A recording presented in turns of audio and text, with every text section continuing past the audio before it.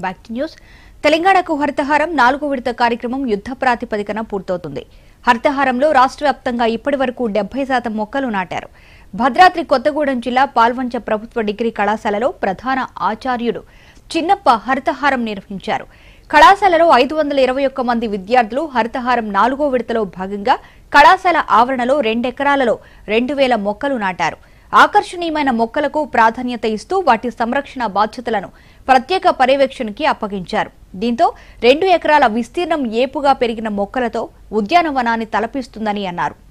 దీంతో పాటు విద్యార్థుల తరగతి గదుల వద్ద పూల కుండీలలో ఆకర్షణీయమైన మొక్కలను పెంచుతామని అన్నారు.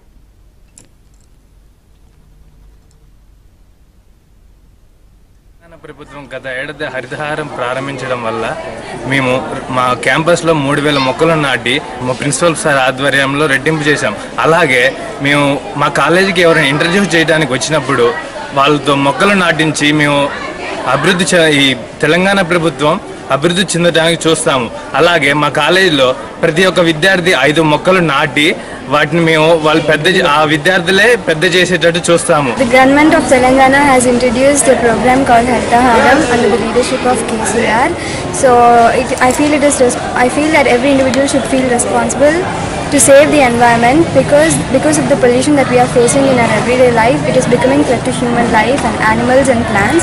We see, see we see that so many uh, birds are becoming extinct. So it is a responsible to save the environment to to become uh, useful for the future generations.